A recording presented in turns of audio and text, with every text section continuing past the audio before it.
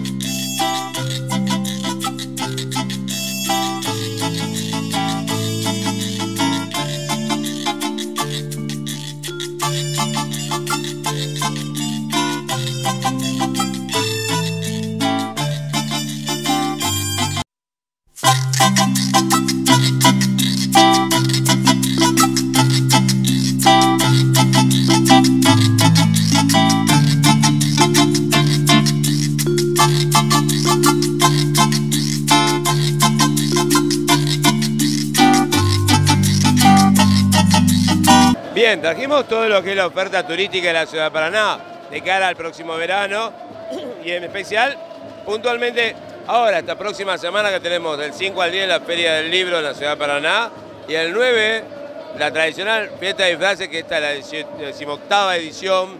Así que ya es una fiesta que convoca más de 50.000 personas de todo el país y de Sudamérica, la fiesta más grande de Sudamérica en materia temática. Así que bueno, los chicos se van a estar presentando dentro de un rato. Es una redundancia preguntar, pero ¿cómo está entonces el tema de niveles de reserva hotelera? Hace un mes que la ciudad de Paraná está cubierta y las ciudades aledañas también, inclusive yo creo que Santa Fe está en el 80%.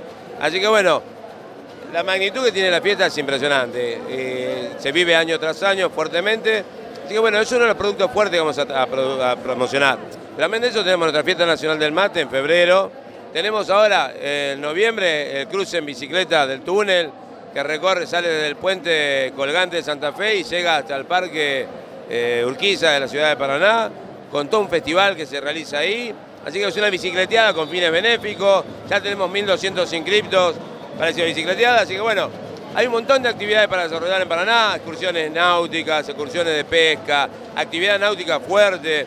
Eh, estamos este, trabajando muy, muy bien con el Club Náutico de Paraná, con el propósito de que los turistas que lleguen a Paraná tengan la posibilidad de tener discusiones náuticas y actividades náuticas que se desarrollan en el club. Así que bueno, eh, estamos dando vuelta un poquito la historia y viviendo el río fuertemente, que es lo que nos relaciona. Paraná, su río, su costa, su belleza, su agua.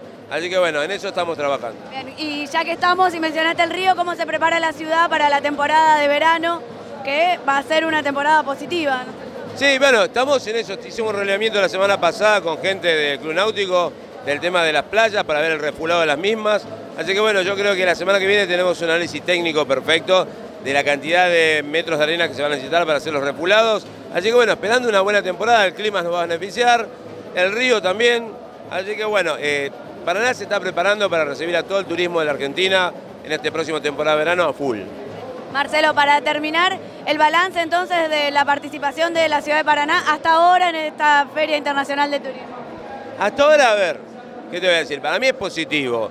Los resultados los vamos a poder ver con el tiempo, ya que estamos realizando una encuesta de satisfacción con el propósito de orientar nuestro desarrollo de marketing. Contratamos una agencia de marketing que nos está asesorando. Eh, fue contratada por el ente Mito Turismo.